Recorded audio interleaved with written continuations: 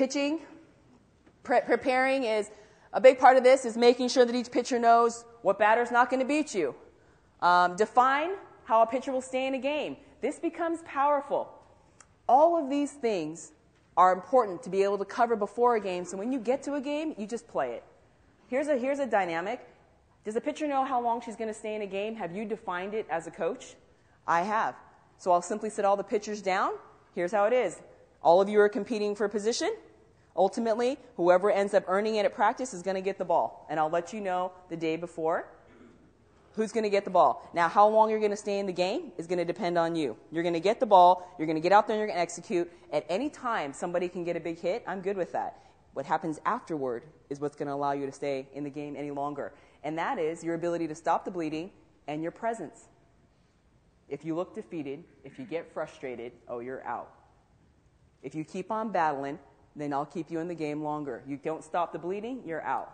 But everyone gets really clear on how they're going to stay in the game. That, that ability, now you say, Coach, I don't want to do that because that might tie my hands. Clarity is the biggest part, and you always reserve the right to be able to, to switch it up, but ultimately they understand that the rope may be, or the, the chain, I mean, your ability to pull them may be a little bit longer for certain people, the rope may be longer, but ultimately they'll have an idea of how they should react when things start going wrong. Here's a big one, too. How many times do you get frustrated saying, Who's on bats? Who's on charts?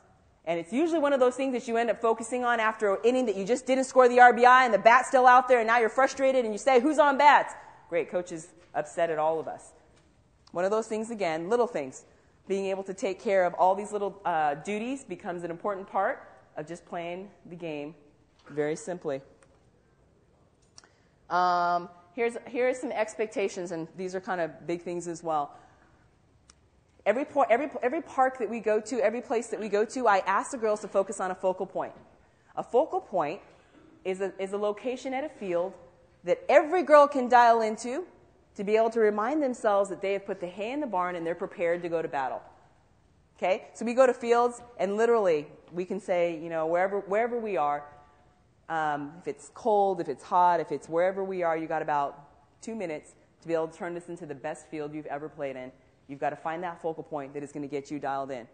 And it's one of those things, it's the first thing you can do everywhere you go. It's a simple place, and I ask the girls what your focal point is so they can dial into that moment to remind themselves when things, the game's speeding up or things aren't going well, what they're going to be able to look at to remind themselves. Um, the routine in the dugout. All I'm sharing with all of you are all these things. If you want to be able to just play softball in a game, you've got to be able to manage all the things that potentially could get brought up that could distract you from playing softball.